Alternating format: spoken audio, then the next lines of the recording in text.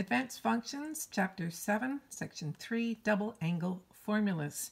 So today I'm going to um, talk to you about how to find double angle formulas based on what we learned in the last lesson on compound angle formulas, which were the addition subtraction formulas. I will go over some of the textbook examples and also I'll give you a link to some homework that I took up with some of the trickier questions that my students had trouble with so you can so I don't have to do all the questions for you, but there are, plenty more that you could have a look at on my PB Wiki site. So if you like the lesson today, please give me a thumbs up. If you give me a thumbs up, give me a comment maybe if you have time, saying what you liked about it, what you wish I'd done differently, if you'd like more questions done. And also, if you give me a thumbs down, there's always someone who doesn't like the lesson, but it would be nice if you let me know why you don't like it. So let's talk about the double angle formulas. Let's get to work. So the sine of a plus b, sine a cos b, cos a sine b. Remember, sine cos, cosine, same sign as with the sine. Now, if we wanted to find out what the sine of 2x was, so the sine of 2x, remember that would be a horizontal compression by a half, so the period would change from 2 pi to pi. So this is the same thing as me writing the sine of x plus x, isn't it? Okay, so let's do that. Let's find out what is the sine of x plus x. You can do this, so if you forget these formulas, you can rattle these off in no time at all. Cos x, sine x. And you can see that we're adding the same thing. Sine cos, cosine. This could be 2 sine x cos x. Right? 2 sine x cos x's. So that means that the sine of 2x is 2 sine x cos x. And that's the first formula that you're go going to want to remember. They show up a lot when you're doing the, um, the identities lesson. This is an identity, but we do some proofs. Okay, so that's the sine x. The cos of a plus b, we're going to do it the same way. So instead of cos 2x, we'll write the cos of x plus x. And then we're just going to plug that into the formula here. And we're going to get a really nice formula. Look at this. Watch. Cos x times cos x minus sine x times sine x. And you know that cos x times cos x is equal to cos squared x. And sine x times sine x is sine squared x. So that means that the cos of 2x is equal to cos squared x plus sine squared x. Now this is the tricky one because from here we can find a few more variations on the theme because we don't we do know what cos squared x is equal to. Remember that when we did the um, when we did the Pythagorean relationship, we said that cos squared x plus sine squared x is equal to 1. So from this formula, we can derive two more formulas. Let's replace this by, we'll write it like this, 1 minus sine squared x. So let's do the first one. So we can say cos 2x is equal to 1 minus sine squared x minus sine squared x. So that's two of them, right? 1 minus 2 sine squared x. And the other option here would be, of course, to write this as 1 a sine squared x equals 1 minus cos squared x. And we're going to plug that in for the sine squared x. So that's going to give me cos 2x is equal to cos squared x minus, now be careful, 1 minus cos squared x, put it in brackets. So that's cos squared x minus 1 plus cos squared x, and that's going to give you 2 cos squared x minus 1. And those are the two extra formulas that you should know Let's just write this cos 2x, and this is cos 2x here. And I'm going to put a nice purple bracket around these two as well. So there's your two extra formulas. So now we have three for cos 2x. We could use this, this one, or this one. And depending on the information that you have, you will choose one of these to make your life easier, depending on what information you've been given. Okay, so let's do the tan of a plus b. So let's do the tan of 2x now. So remember this formula from the last lesson.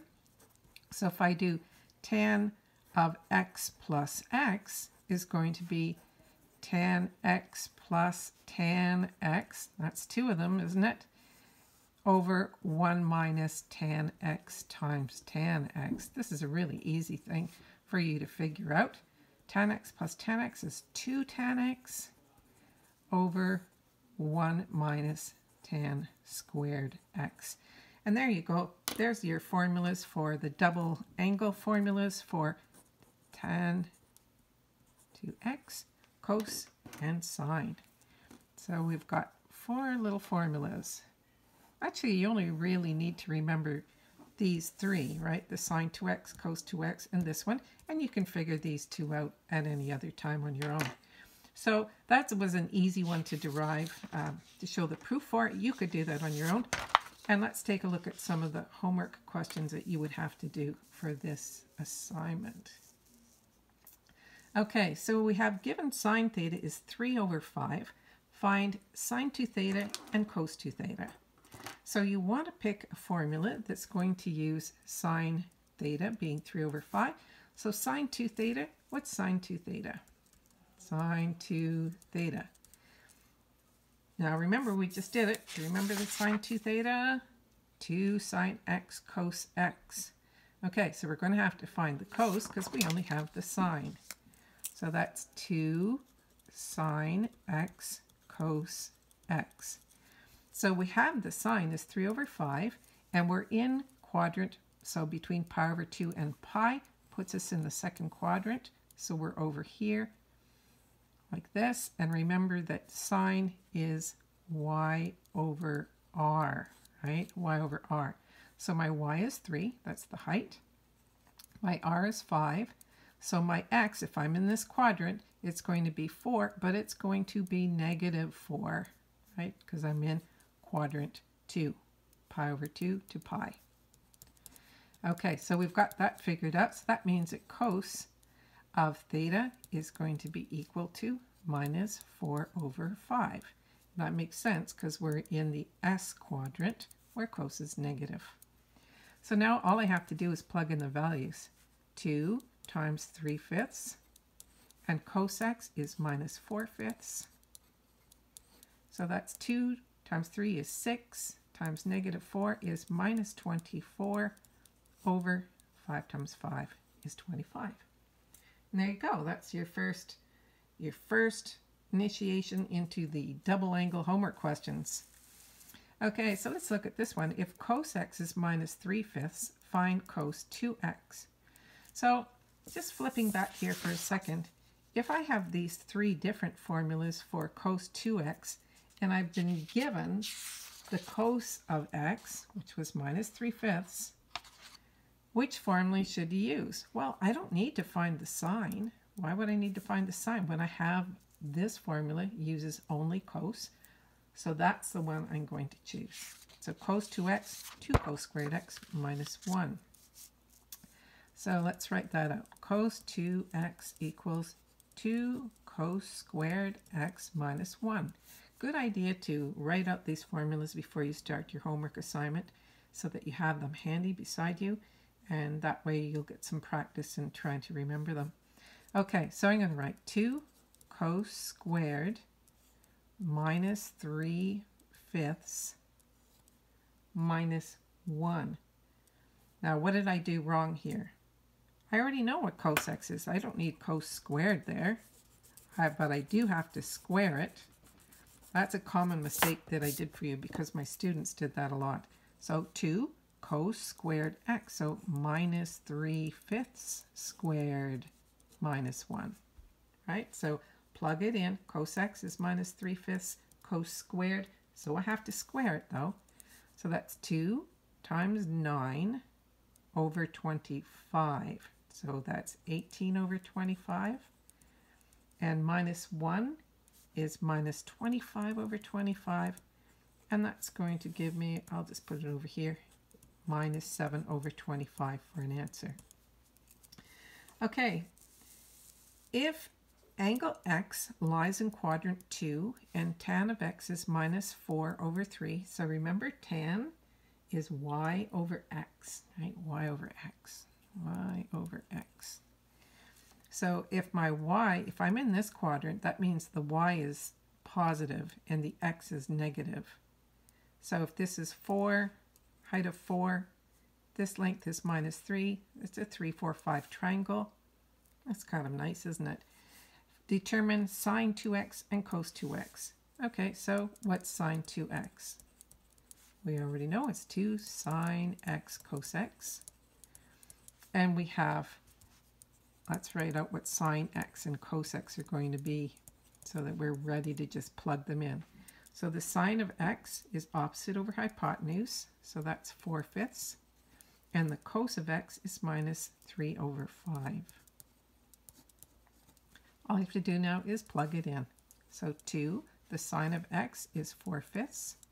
The cos of x is minus 3 fifths. And then just multiply. So I have 2 times 4 is 8 times negative 3 is minus 24 over 25. 5 times 5. Okay, so the last one we're going to do is the cos of 2x. Well, we can use any of the formulas because we have both sine and cos. No other calculation is needed. Uh, let's find some room here. So cos 2x, let's use 2 cos squared x minus 1. And so I want to do 2 cos squared x is minus 3 fifths squared minus 1. And that's going to give me, again, we have 9 over 25. That's 18 over 25 minus 25 over 25. I'm running out of room. That gives me minus 7 over 25. Okay, so that's kind of easy and straightforward for you, I hope. Now, the trickier questions would be something like this. It says, write as a single trigonometric ratio, and they give you 6 sine theta cos theta. So when you look at that, I know it's kind of kind of confusing at the start, but once you see that you, what pattern are you dealing with here? Well, this 6 doesn't look right, but I do know that sine 2 theta is 2 sine theta cos theta, right? Sine 2 theta equals 2 sine theta cos theta. And this is the pattern right? Sine cos, 2 sine cos. But I have 6 sine cos. So if I factored out a 3, I would be left with 2 sine theta cos theta. So writing as a single trigonometric ratio just means I'm going to replace this by this, and that's going to give me 3 times sine 2 theta. Okay, I know the first time you look at these, you're going to go, oh man, I don't know what they're even doing here. But you'll catch on really quickly if you just follow what I'm going to say here. Now look at this, cos squared something minus sine squared. So think of this as being like theta here. Cos squared theta minus sine squared theta. Well, what's cos squared theta minus sine squared theta? That's cos 2 theta, right? Let's write out the rule here. Cos 2 theta is cos squared theta minus sine squared theta. But my theta in this question is 3 halves theta. So that's going to be equal to the cos of 2 times theta, which is this thing, right? This, all I'm doing is replacing this block here, theta, theta. So that's cos 2 theta. And I'm going to simplify by canceling those out or divide them into each other, which is a better way to say it. So that's the cos of 3 theta. So that makes sense because look, if I said cos of, let's say 5 theta, what would that be equal to? Well, we had 2 theta here and we go to 1 theta. So if we have 5 theta, that's going to go to 5 halves theta, right? So you can think up all kinds of different variations on a theme here, but that's basically what you're doing. Just think of this as being, this is my theta, here's the pattern, and I'm just going to plug it in. Okay, so the third one here, we have cos, 2 cos squared theta minus 1, right? Forget what's in here. Just call it theta for now. 2 cos squared theta minus 1. So that's cos 2 theta, right? Cos 2 theta is 2 cos squared theta minus 1. So instead of me having theta here, I have 7 theta over 2. So this is 2, sorry, cos, cos of 2. And I plug in what I had for theta here. And cancel these out, and I get cos of 7 theta. So cos of 7 theta I have to half it. Just like I went from 2 here to 1, I'm going from 7 to 7 over 2. Okay, last one. By this time, I think you have it all figured out. So I have, oh, this one's a little trickier though, because I have 1 minus 2 sine squared theta. Well, again, that's cos 2 theta, isn't it? Cos 2 theta equals 1 minus 2 sine squared theta. So what's my theta here? It's all of this, right? This is theta, or theta here. So this is the same as cos 2, and I'm going to write this out because I replaced, that's my theta, pi over 4 minus x over 2.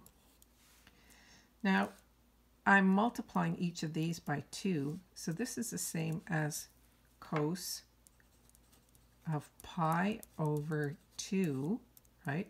Get rid of this, and minus x.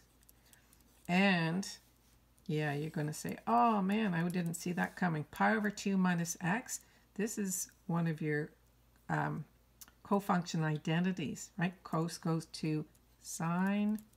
Remember that from not too long ago. So that's just the sine of x.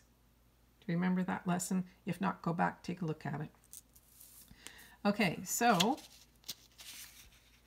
that's those. I think I have one more question. Yes, I do. Okay, so here we go. Jim wants to find the sine of pi over 8. He knows that cos of pi over 4 is 1 over root 2. Well, you know that too, don't you? Cos of pi over 2. And he wants to know what is the cos of pi over 8. So remember when we looked at these equations when I was going along um, with you, we're saying, saying how this goes from 2 theta to 1 theta. So if I had pi over 4 here, this is going to go to pi over 8, right? Pi over 4 to pi over 8.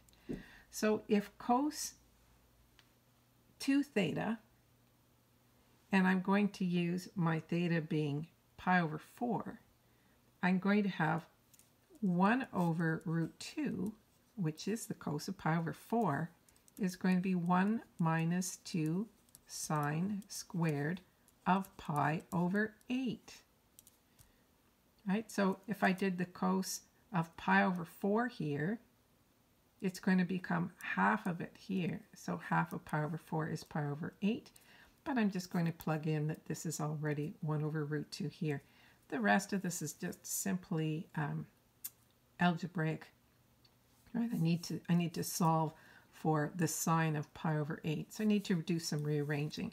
So the first thing I'm going to do, 1 over root 2, I'm going to subtract 1. I'll do every little step here for you so you don't get lost along the way. Okay, so 1 over root 2 minus 1, so that's 1 over root 2 minus 2 over root 2. Okay, so I'm finding a common denominator. I'm really going to do lots of steps here for you. Okay, so this is 1 minus 2 over root 2, right? That's the same thing. I said 2 over 4 minus 3 over 4. That's the same as 2 minus 3 all over 4.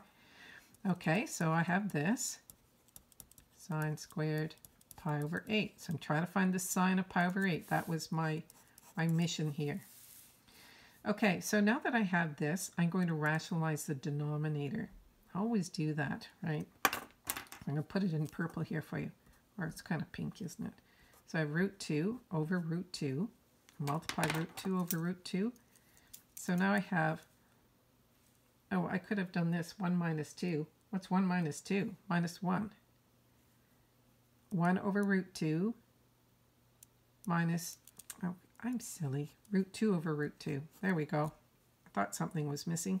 This is equal to 1 minus 1. Okay, so that gives me root 2. Root 2 times 1 is root 2. Root 2 times root 2 is minus 2 over root 2 times root 2 is 2.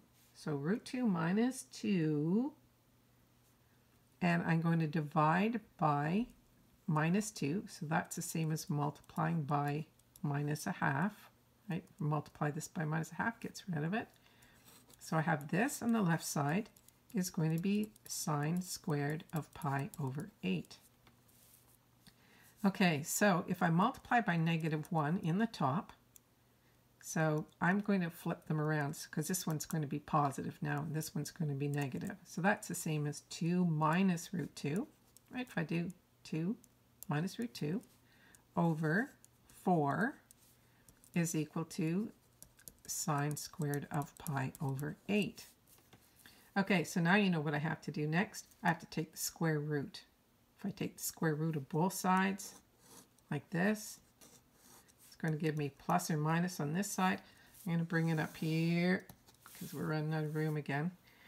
Okay, so I don't know if you can follow that. So if I take the root of 4, that's going to give me 2 in the denominator. So I still have plus or minus 2 minus root 2, and that's going to be equal to the sine of pi over 8. So this was question 9 on page 407 in your textbook. Um, hopefully you followed along. It, it's not that hard once you've done one of them, right? That's the same thing problem with math. Once you've seen the question and you've tried it once, it's like, oh yeah, yeah, that's not so bad. Okay, so again, leave me some messages. Uh, thumbs up, subscribe. I notice only about 40% um, of you have subscribed that are watching the channel. I'd really appreciate your support, and I would really appreciate some thumbs up. Give me some incentive to keep going. All the best. Bye for now.